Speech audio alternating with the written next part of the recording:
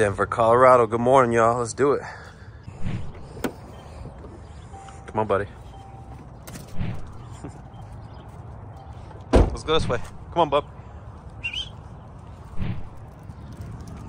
Got a couple expediters in the parking lot today. He's been looking for a spot for like 15 minutes. He's used to like pooping and peeing in bushes, and there's not a bush out here. This is what he does. You done? You sure? Okay.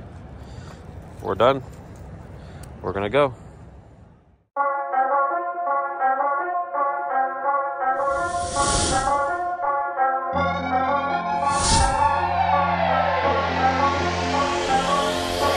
What is going on, everybody? Welcome back to another episode of Expediting America. And if it's your first time tuning in, you like what you see, hit that like button, comment below, let me know you're new here, and hit that subscribe button for me. Thank you very much. We picked up yesterday morning at 8 a.m. in Flint, Michigan, drove 1,200 miles here to Denver, Colorado. Hope you guys enjoy the episode. So, this is our destination.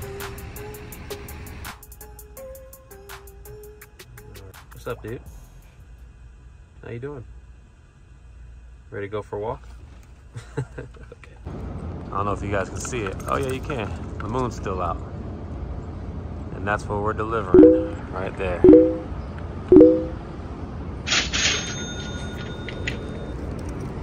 Let's do it, Joe. Let's patrol the streets. It's crazy they send me all the way this way just for two strips of metal.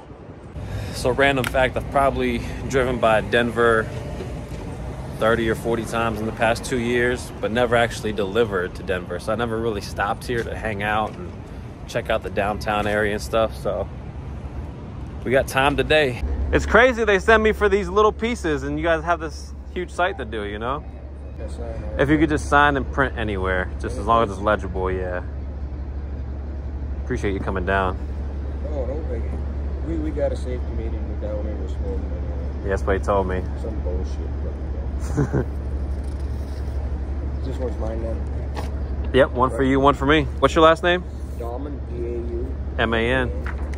Because you are a the man. Where, where are you headed now? I'm going to get breakfast, and then uh, I don't know where I'm going to go after that. Every every day is different, so I've been on jobs. I just been on one to Grapevine, Texas.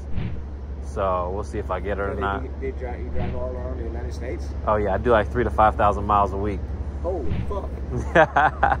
Where, where are you based out of then? Where are you from I'm from Florida. I haven't been to Florida in months though. I mean, I stay out. as long- I live here now. I'm, I'm- I got rid of my apartment and everything. So Okay. this is my life for now. For now. If you're ever on YouTube, uh, I got a YouTube channel called Expediting America. Okay. So if you ever I'll are check- bored and want to check check it out, you know, Yeah. I got my dog with me. I don't know if you saw him or not, Yeah. but he's chilling. Good to see you, buddy. Thank you. I appreciate you, man. Have a great day. Enjoy that meeting. All right. Let's get out of here. So we just dropped off, and literally, I turned on the Dispatcher app, and they have a load going uh, pick up seven miles away, going 81 miles south to Colorado Springs, paying 189. So not even 100 miles, paying 189 is pretty good. So I'm gonna go ahead and take that, go to the pickup seven miles away, and uh, start our day with a little bang. You know what I mean? Can't complain about that, and then hopefully get something after that because that's not gonna take long. And uh, God willing, never know. But just enjoying Denver as long as we can.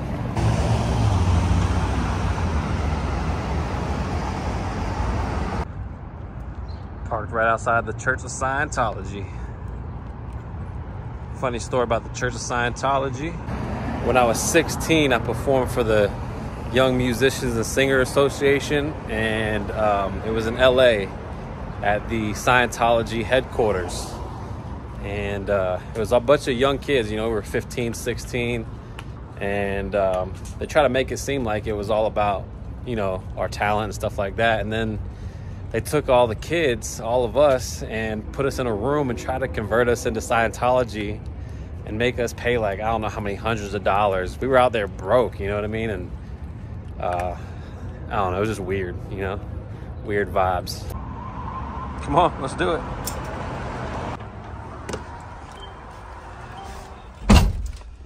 So I don't know if you guys noticed this red leash here, but this company reached out to me. They make this strictly for cars and for dogs or cats, I guess.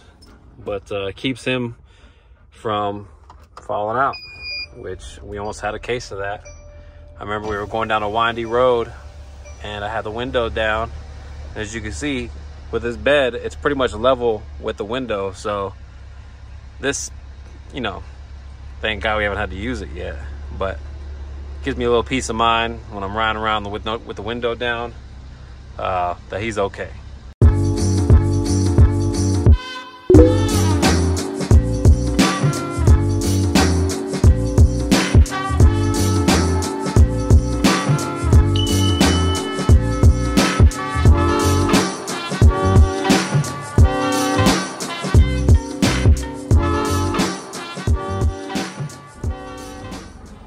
Y'all waiting for some supplies?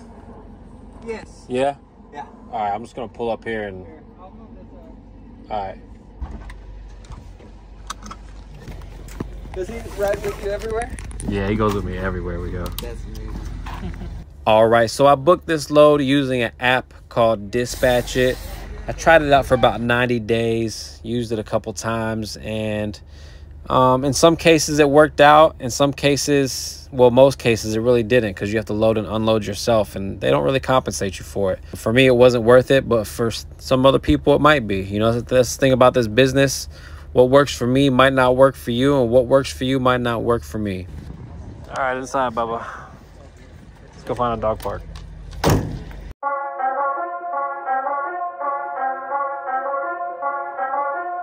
If you want to see what happened after I dropped off this load in Colorado Springs, click the link to this video right here. It's probably one of my favorite episodes where I go recover a load for a broke down van. And when I get there, the driver of the van actually bailed on me and made me unload and load it into my van, all 2,000 pounds, all by myself. I'm just gonna open the door, bro, and I'm leaving. You can. There's no way you're gonna get these things out one by one.